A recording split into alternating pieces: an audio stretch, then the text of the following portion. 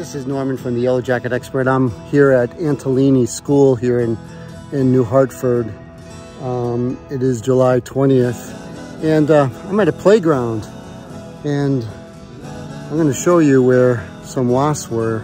Somebody thankfully saw some traffic going in and out of this toy that these kids would be playing with. So they gave me a call and um, let me show you. I'll just show you this way rather than cutting these are drums. Could you imagine a little kid drumming on one of these drums and having wasps come out and sting you? You just never know where they're going to be. And they were in the smallest one, right, right there. That's the one that they were in. So uh, because they were up inside, I tried to get them. But what I used is um, is Dr. Bronner's organic soap. And I'll tell you what, you don't need pesticides. And you could wash these kids in Dr. Bronner's organic soap. It's not gonna hurt them. It's not gonna cause them any harm. Um, yeah, I mean, Dr. Bronner's is a great thing. So if you ever get yourself in a pinch, then um, use Dr. Bronner's. And I wash the toys with it and and uh, let me show you. Maybe I'll switch the camera. So let me show you. So what I have, I have a beautiful Milwaukee um, electric spray thing, which is very cool. Milwaukee's very cool. So all I do is I take and I put it up inside of the drum and I wash it out.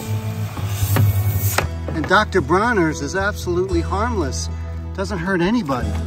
So, you know, all these schools that hire exterminators, they would come and just poison these things. And these little kids with their bodies would absorb it. But, you know, use Dr. Bronner's exterminators if you have to. But you see, they can't do that because they got to charge a lot of money for their, their dreaded poisons. Watch this. I'm just going to be sure these drums are all clean of wasps. And let's do the biggest one here. We'll bring bring the doctor spray bottle over. So now these have been washed out with some Dr. Bronner's, no chemicals, no poisons, no pesticides, and uh, nobody's harmed. Except for the wasps. Let's see if I can find one. Oh yeah, here's one. Here's one.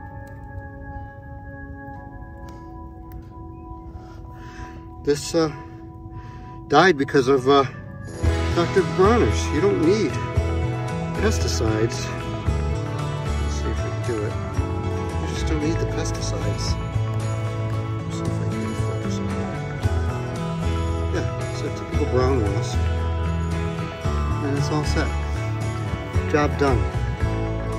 The only thing that was harmed was some wasps and they were washed and bathed and baptized with Dr. You don't need a license for it. The reason you don't need a license is because the stuff that these these exterminators are using is so deadly, so nasty, that they have to have special licenses in order to do it. Um, gosh, what I do. You know, usually I try to, collect it from medical labs, but um, I can't and we kind of get up inside of these things, so I just did it this way. So there you go.